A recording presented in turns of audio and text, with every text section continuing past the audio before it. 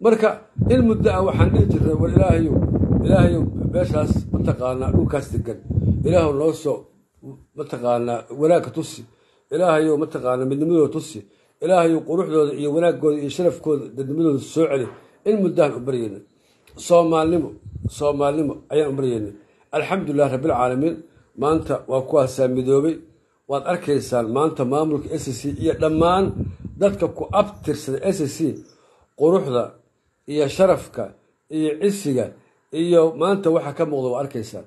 Waad arkaysaan maanta in magaalada laascaano ay noqotay goob loo dalxiis tago oo qof walbaa uu jecel yahay inuu maanta laascaano tago soo arko lagu marti qaado maalmo uu joogo. Maxaa keenaya waxaa keenaya wanaagga iyo midnimada ay gaareen iyo dhiiggii shuhadada ee daatay ayaa keenaya.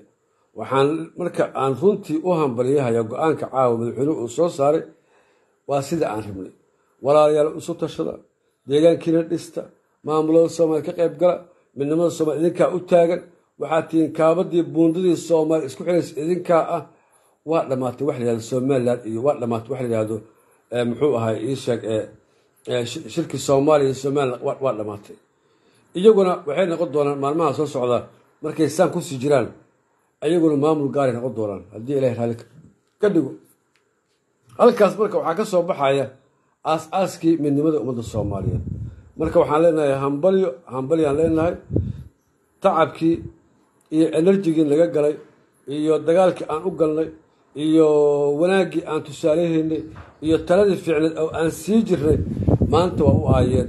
Waxaan leenahay idinkuna waana karaamayseen idinkuna waa iskaraamayseen walaalayaal halgankiina halkaa ka sii wada oo yaan dib loo noqonin yaan dib loo noqonin. Intaasi waa inta s c mar kastaba garabkiinaan taaganahay hiil iyo hooba garab garabkiinaan taaganahay taa horta ogaada. Idinka hari mayno waan idin imaahaynaa haddii ilaahay raalli ka dhigo sida ugu dhaqsiyaha badanne inaan idinkugu nimaadno oon tala bixinno oo aan soo aragno deegaanadii oon dhulkii soo aragno weliba khaasatan aniga xasanweli ah aada ii qusaysaa waayo lascaanood waxaa ku xabaalan gabar aan sodog u ahaa wiilkeygu qabay oo halkaa ku dhimatay oon awoodi waayo inaan ka qayb galo duugteeda tacsiidaan ka qayb galo waagii aslamta ay joogtay waxaan qabaa caruurxumadaas maadaama gabadhii wiilkeyga qabay ay ku dhimatay aan tegi waaye waxaan rabaa inaan tago qabrigeeda soo siyaarto qur'aan u soo akriyo soo jooga maalmo ilaa iyo aan tago og aan tago haddii ilahay raali ka dhigo ama guumeys aan tago. Iyo waxaan rabaa inaan tago daarihii taleex sayidkii halkuu deganaa iyo dhulkii taariikhda soomaaliyeed ee dagaaladii lagula galay gumaysiga inaan soo arkana waan rabaa insha allahu tacaala. Intaasu waa intaas waxaan rabaa halkaa inaan caawa aan ka sheego odayaal soomaaliyeed oo u badan beesha harti oo lagu xiray kismaayo lagu xiray ayaan rabaa halkaa inaan ka sheego. Odayaashaas waxaa loo xirxiray liiskooda idin haya. Waxaa loo xirxiray oo maamulka axmedoobe ay u xirxireen laba arrimood ayay u xireen. Waa kow odayaasha tan la xirxiray wuxuu sameeyey axmed madoobe maalin dhaweyd baarlamaankii jubbaland buu shiriyey. Waxay yidhaahdeen hal sano ayaan kuugu darnay inaad sii joogtid.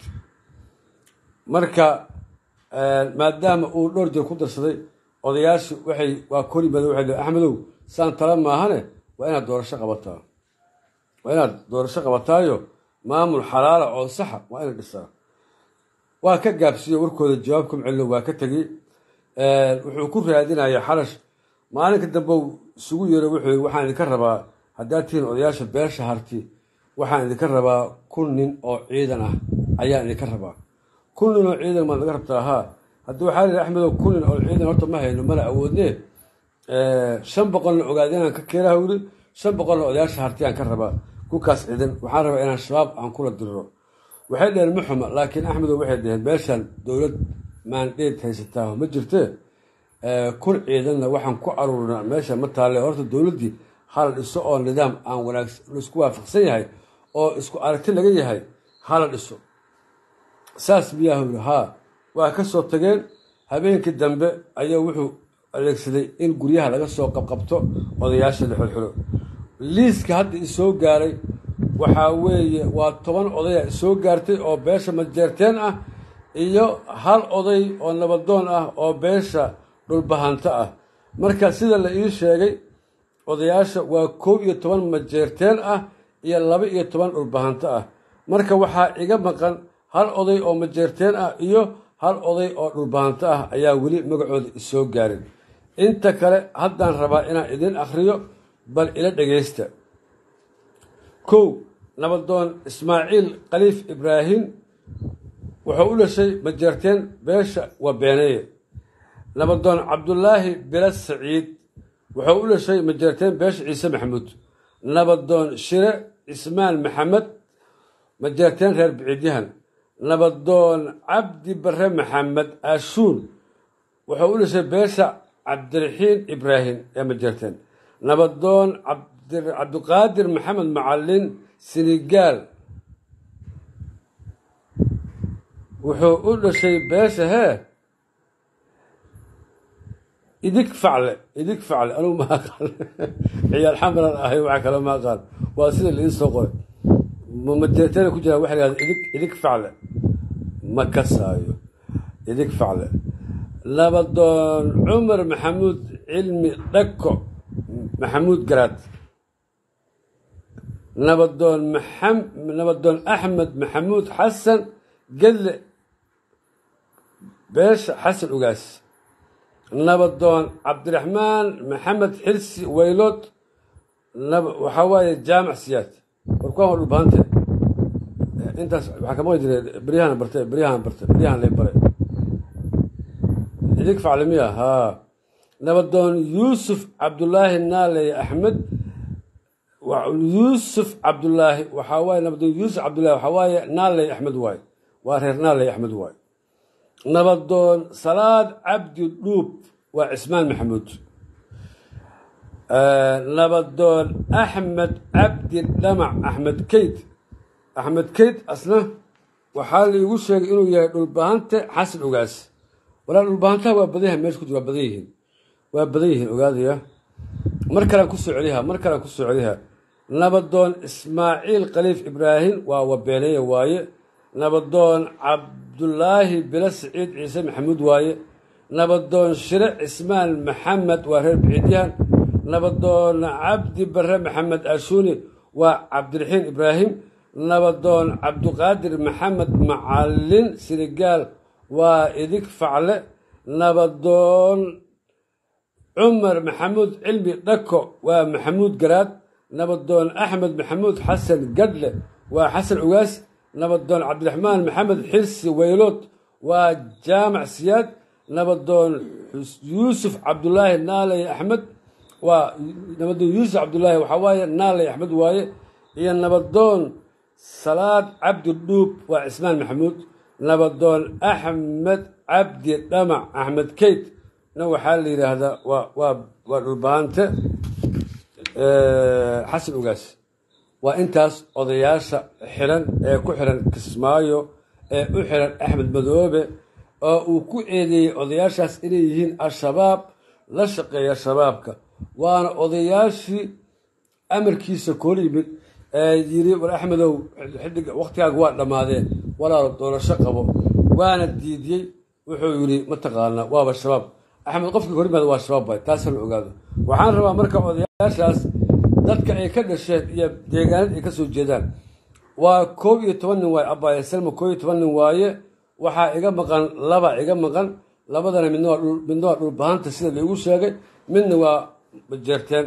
Marka waa saddex iyo tobankaasaa xiran marka axmed madoobe sidaasuu dadku u xirtay waxaana u soo bandhigaa u sheegaa waxay tahay kismaayo qof bini aadama oo hadli kartaa ama wax sheegi kartaa ma lahan dadkii afka laga haya qofkii isku daya arrintaas ka hadlana waaba xabsiba marka saas daraaddeed odayaashii deegaanka joogay ayaa aniga ila soo xiriiray oo warbixintaa ii soo gudbiyey oo yidhaahdeen xasanow bal arrintaas naga gudbi oo laga gaarsiiyey odayaashii reer puntland iyo reer s c warkaagu maadaama ay kugu xiran yihiin oo aan maqalnay odayaasha ila socda odayaal yaqaana xataa maaha. Waxay dhaheen waa maqalnay in mataqaanaa nin si fiican lagu dhegeysta inaad tahay khaasatanna reer puntland iyo reer s c ay aada kuu jecel yihiinoo warkaagu ay dhegeystaan marka arrintaasaa jirta muxuu ahaay xasanow arrintaas gudbi. Marka yaa ka mas'uula dadkaasu ujeeddada yaa soo xirxiray yaase ka dambeeya yuuse axmed yaase axmed uu u yahay dadkaas yaa u soo qabta. Waxaa u soo qabta mas'uul uga ah nin yihahdo cumar faraweyne oo ah guddoomiyaha degmada kismaayo. Waa cismaan maxamuud. Ninkaas waa ninka axmed madoobe uu u adeegso dadka. Ninkaas waxaa ka sii hooseeya oo asna u ah n s u ah oo nabad sugid u ah oo dadka u soo u soo jaajuusa oo yidhaahda kaasaan nabadoona kaasaan nabadoona kaasaan nabadoona yidhaahda nin la yidhaahdo cabdulaahi nuur babis babis oo loo yaqaano john loo yaqaan. Ninkaas dhalasho ahaan wuxuu sheegtaa beesha cismaan maxamuud ayuu sheegtaa laakiin asalkiisu sida dadku ay sheegeen waa cismaan waa wardaay laakiin wuxuu sheegtaa hadda cismaan maxamuud uu sheegtaa magaca babis meesha uu ka keena waxaa weeye waa astaan ay xoolaha ku dhigtaan beesha wardaay ku dhigtaan weeye marka ninkaas waa ninka ninka cumar faraweyne la shaqeeya ee yidhaahda odayaasha kaas waa hebel kaas waa hebel yidhaahda waaye wuxuu kaloo ninkan shaqadiisu ay tahay boobka dhulka la dhacayo kismaayo waa ninka soo ogaada waaye ee yidhaahda dhulkaasaa dagan dadkaasu dad awoodla maaha wax iskama dhici karaan meel heblaayo dhul dowladda ku yaalla dhulkaas niman agoona iskale ninka u soo jaajuusa waay ee dhulka u dhaca ninka leey cumar faraweyne oo duqa magaalada kismaayo ah. Intaas waa warbixintii kismaayo iga soo gaartay iyo dadkii xirxirnaa ee kismaayo lagu xirxiray odayaasha. Liiskii waa idiin akhriyey. Waxaa laga rabaa marka odayaasha dhaqanka ee harti ee jooga puntland ee jooga laascaanood jooga iyo meel kastay joogaan inay axmed madoobe kula xisaabtamaan odayaashaas la yaqaano weliba odayaashaas waa la diiday in xabsiga loogu tago ee la soo booqdo ee la soo arko. Odayaashaas waxaa ku jira odayaal ah. Sagaashan jiraa ku jira qaarkood jiran oo xanuunsan oo qaba sokor qaba oo dhiikar qaba. Haddana waa la diiday in la arko odayaashu. Qaarkood sawirradooda waa kuwaasa qaarkood sawirradooda waa kuwaasa waa idiin soo bandhigaa sawirradooda odayaal waayeelaha ku jira odayaasha xirxiran. Arka ilaaha idinku dhaashe.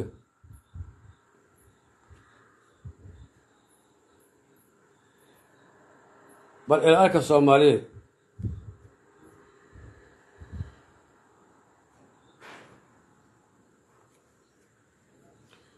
waa inta waa inta iga soo gaadhay sawirada iga soo gaadha waayo waxaa ku jira odayaal waayeela ah oo sagaashan jira aad arkaysaan oo qaarkood sokor qaba qaarkood dhiikar qaba dadkii deegaanka deganaa ama eheladoodii xataa waa loo diiday in la tuso oo ay arkaan. In la soo booqdo waa loo diiday. Qaara waxay qaateen daawooyinka dhiikarka qaataan. Qaara waxay qaateen daawada sokorta qaataan. Waa loo diiday. Waxay halis u yihiin xabsigaas ay xamidoobe ugu xiran yihiin kismaayo inay caawa u dhintaan. Waayo qof dhiikar qaba ee xiran hadduu xanaaqo dhiig ku sii kaco maskaxdu ku dhiftaa kii sokor qabana waa ogtihin sokorta waa kacaysaa sokorta murugta iyo dhibaatada iyo colaadda waa ku kacda. Marka waxaa laga rabaa odayaasha salaadiinta isimada boqorada garaadada jooga sool iyo saraag iyo cayn iyo jooga puntland arrintaas inay u kacaan anigu qof soomaaliyeedaan ahay qof walboo soomaaliya oo dhibaataysanna waxaan jecelahay inaan xaqa u sheego oo aan caddeeyo oo aan la qarin qofkii dhib qaba ama qof xanuunsanaado ama qof loo kaalme ha noqoto ama qof xil ha noqoto. Dadka masaakiinta ee dulman ee aan codkooda la maqlayn ayaan anigu afayaan u ahay. Kismaayo waad ogtihiin qof ka hadli kartaaho ma jirto. Iyo qof warbixin ka sheegi kartaa ma jirto. Saas daraaddeed waxaan halkan caawa u soo galay inay ogaadaan odayaasha isimada puntland jooga iyo odayaasha jooga laascaanood ee garaadada ah inay axmed madoobe kula xisaabtamaan. Dadkaas aan caawa liiskooda idiin soo sheegay oo ay ii soo gudbiyeen dadka deegaanka ku nool oo ila leh aniga contactiga ila leh ayaa ii soo gudbiyey. Mana ahan mana ahan wax been ah waa xaqiiq waaye waana idiin soo bandhigay sawiradooda waana taas middeeda kale maadaama aan ahay garaad aan ahay beesheydana ay mataqaana ay sida go'aanku u yahay ay go'aansadeen ilaa garaadkii beesha booskooda aan buuxiyo maadaama garaadkii beesha uu laga duqoobay sagaashan jir iyo cabaaf xanuuno iska jirjiraan. Adeerkay garaad yuusuf dubad jiixow ilaahay caafimaad ha siiyo allaha barakeeyo cimriga allah u dheereeya waa sagaashan jir ilaa hadda taliya waaye waxaa laysii wakiishay shaqadii garaadnimo inaan wado maadaama marka garaad ummadda soomaaliyeed aan ahay garaadkii beeshana la ii magacaabay garaad ummadda aan ahayna qof kasta oo soomaali ah oo nabadoon ah ama qof kastaoo dhiban oo soomaali ah waxaan ku qasbanahay inaan afkiisa ku hadlo una doodo xaquuqda ka maqanna aan soo gaarsiiyo oo aan sheego. Taas aga go-an soomaali geeska geesna waa ii siman yihiin dadka soomaaliyeed ee ku dhaqan geeska gees soomaali inta soomaali dhul ay degto oo magaca soomaaliyeed uu ka jiro ama inta dad af soomaali ku hadla ee ku nool bariga africa garaadkoodiyaan ahay wixii dhiban waxaan diyaar u ahay inaan kala qeyb qaato dhibkaana kala qeyb qaato. Qofkii cabursan la diidan yahay inuu hadlana inaan xaqiisa u sheego. Odayaashan waaba odayaashii aan wada shaqayn lahayno inay xirxiran yihiin maanta wax aan yeeli karno ama aan yeeli karno ma ahan. Insha allahu tacaala walaashay umu axmed waa mahadsan tahay caanahana waxaa igu shubi doona intiinaan nabadda jecel oo walaalahay ah oo ayaan ay ka mid tahay oo umu axmed ka mid tahay oo busul ay ka mid tahay oo dhammaan dadkiina meesha jooga yaa igu caani shubi doona haddii ilaahay raalli ka dhigo. Ama waxaan rabaa inaan bataga laas caano oo insha allahu garaadada qaarkood waxaa layidhi ragaa waxay qastaan caano booro qastaan isku shuba anigu caano boorana isku shubi maayo. Waxaan rabaa inta laaskii aan tago geeli la keeno caanihii geela oo dhaay oo saafiyo lagu soo liso xoola in halkaas liigula soo shubo garaadaduna ay goobjoog ka ahaadaanoo ayaguna ay tufta iigu daraan. Marka waa intaas haddii ilaahay raalli ka dhigo walaalahay waa mahadsantihiin waxaan idiin soo gudbiyey wixii aan idinka ballan qaaday oo ah odayaasha xirxirnaa iyo dhibaatada ka taagan magaalada muqdisho in la gaaray dugsi qur'aankii iyo masaajidada qur'aanka hadda in cashuur laga rabo. Waa baytullaahi ninka ninka dhahaya maanta baytullaahi cashuur ka qaada. Halkaasi joogtaa baytullaahi guriga ilaahay aan cashuur inay taagiyihin ilaahay dhibaataday wadaan kuwaas ilahay nama soo gaarsiiyo. Dalka iyo diinta allah noo barakeeyo. Duufaanta iyo roobabka lixaad kale ee dhibaatada wadee la sheegayana ilaahay ha naga najeeyo roob raaxa leh oo wanaagsan oo